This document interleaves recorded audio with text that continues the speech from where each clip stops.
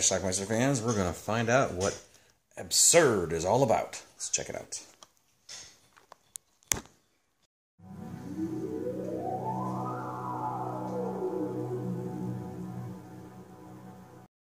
That's George Eastman.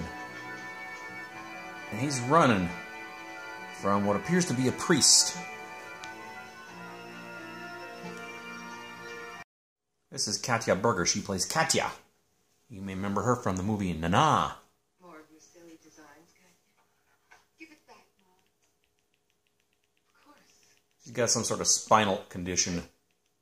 Why don't you read something instead? Back to uh, George Eastman and the priest. It looks like he's impaling himself on that fence. I guess he got away from the priest, but he's a little worse for wear. And now he's in the hospital. Completely absurd. Recuperative powers like that simply don't exist. Tribute to your skill, Doctor. I'd like to accept the compliment, Emily, but I can't. It looks good. They don't expect him to pull through. I saw the blood on the gate. You know what I'm wondering? How did he manage to wound himself in that way in the woods? The priest was found wandering. Visiting a roaring metropolis on foot? Oh, no, I, I. My automobile. It breaks down. Like the histological examinations and all the other tests.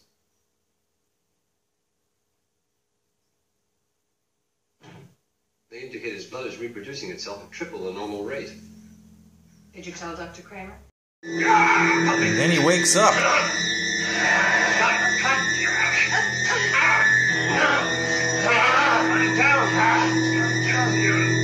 They found the priest wandering around in the hospital, so they gotta question him now. Well.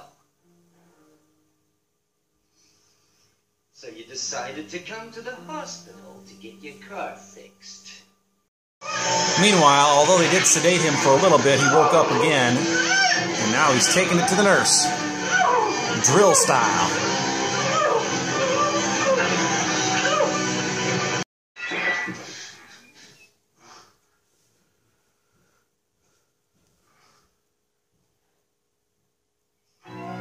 And he's out.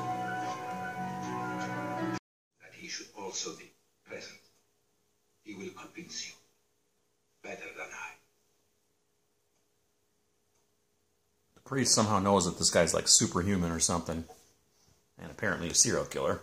Asthenopolis is, how shall I put it? Immortal? Nor can blind faith accept it, but it is so. His body can regenerate dead cells. Our killer found someone to attack.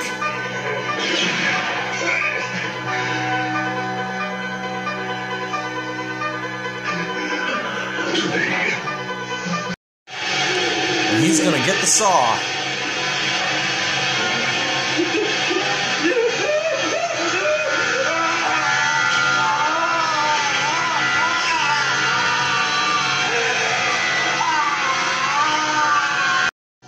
Our next victim appears to be this guy whose motorcycle died on the highway.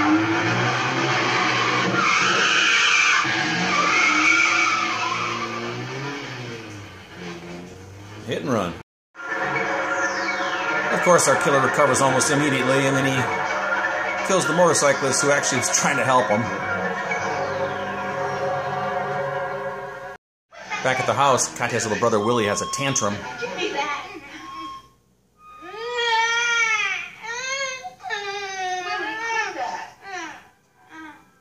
All better now.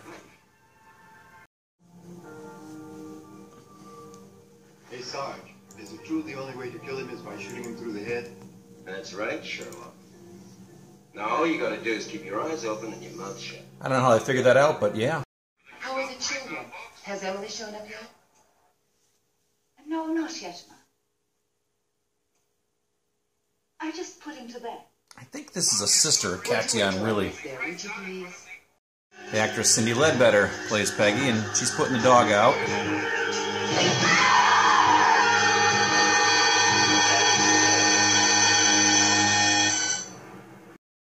Belle plays the babysitter, Emily. You little brat. Let's go see Katya now. hmm? The parents are attending a Super Bowl party with some friends. Super Bowls and spaghetti.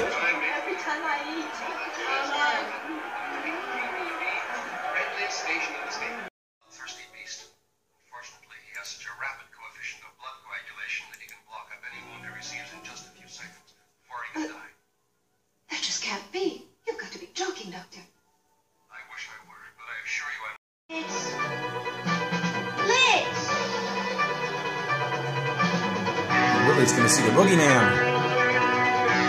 Emily! I think Emily's actually just a nurse who's gonna come over to check on Katya. But our nurse is gonna find Peggy.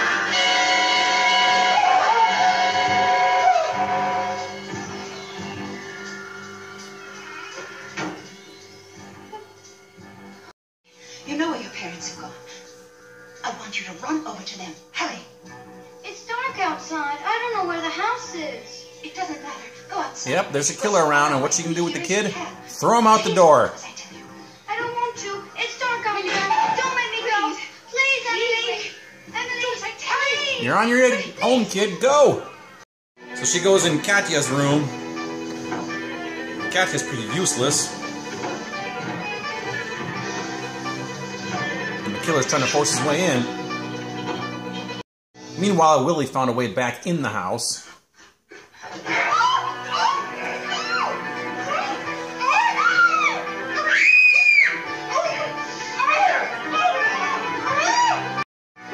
As tries to scrape out, killer's trying to stuff Emily into the stove. Yeah.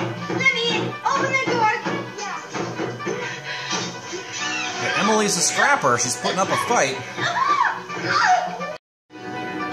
But she's starting to burn when he turns it on.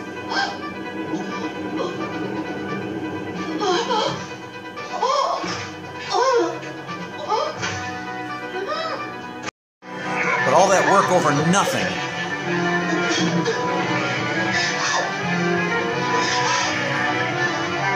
He ends up having to kill her with scissors.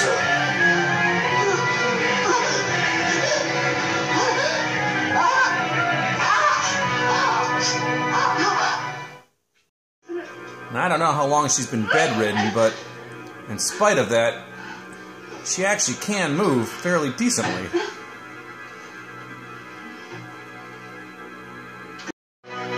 So she has a compass in her hand. To the eyes.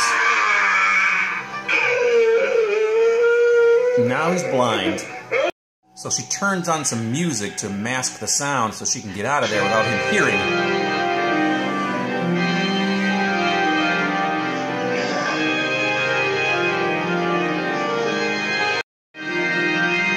And thus the slow speed chase down the hall.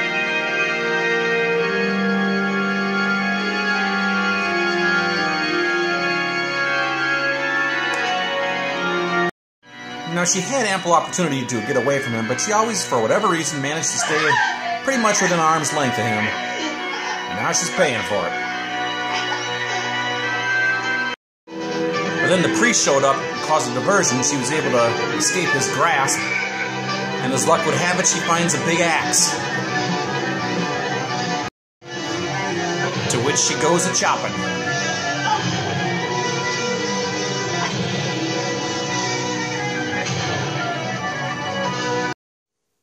Everything's okay now.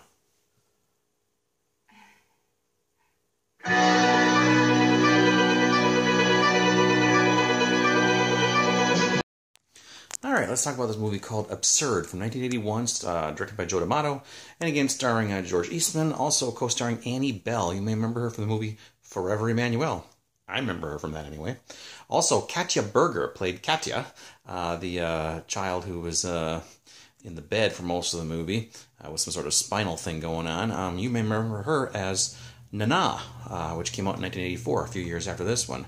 Um, so, yeah, also the little kid, uh, Willie, uh, that's played by Katya Berger's real life uh, little brother. So, anyway, that's the cast. The movie itself is uh, about uh, this guy played by George Eastman, um, who was in Anthropophagus. This is kind of like a pseudo sequel to Anthropophagus. I'll explain that later. But anyway, um, he is some sort of monster. Now, if you've ever seen the movie Silent Rage uh, with Chuck Norris, uh, it's kind of a movie like that where the killer um, has some sort of recuperative power and he's some sort of super monster being type thing.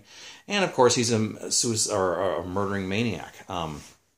That's what we have here. George Eastman is going around killing people, and he can't be stopped because if you try to shoot him, cut him, whatever, he uh, he come he, he heals instantly and he's fine. So, and I don't know why he's murdering everybody, but he is. So that's what he's doing. He's kind of going around the countryside, just killing everybody he runs into.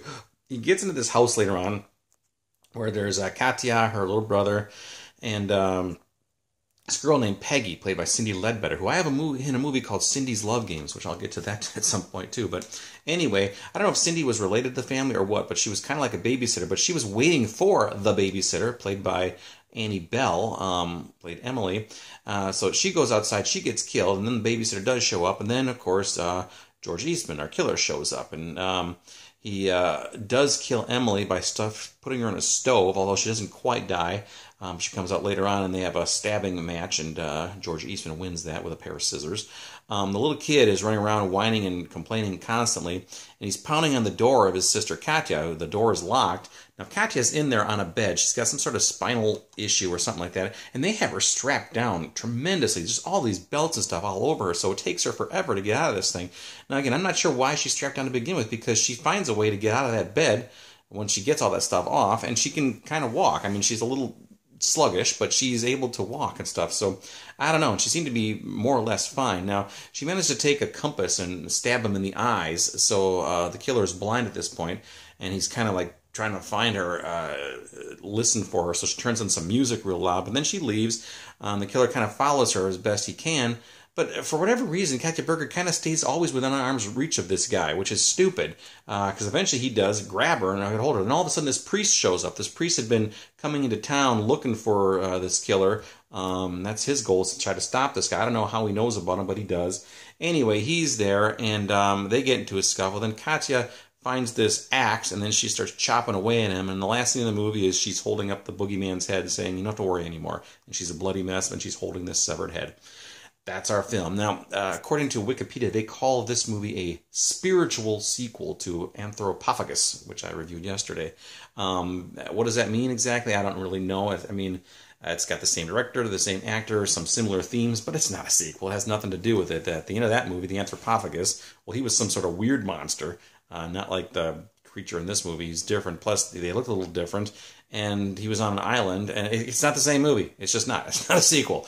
Uh, so, but anyway, they're they're similar themes. So I guess that's why uh, Severin decided to put them in this uh, two movie box set here uh, with Anthropophagus. So anyway, this box set, like I mentioned with Anthropophagus, is uh, very sought after. It's like eighty dollars or something like that. It's ridiculous. You can buy these two uh, Blu-rays separately, and I don't know if there's anything different on this box set than the other ones. Maybe somebody else can tell me. Now, Absurd also comes with a CD with some music, and I got to say, the soundtrack of this movie was fantastic. I really liked it. I don't know who did it. Um, I was thinking it might be Goblin, but I don't think it is. But I don't know. Just as original motion picture soundtrack. So, but it is. It's really good. It's one of the highlights of the movie. Pretty good soundtrack. So anyway, check this movie out. Absurd. I'll leave a link down below to the Blu-ray if you're looking for it on Amazon, and um, let me know what you think about it. Absurd, 1981. Watch it. Bye.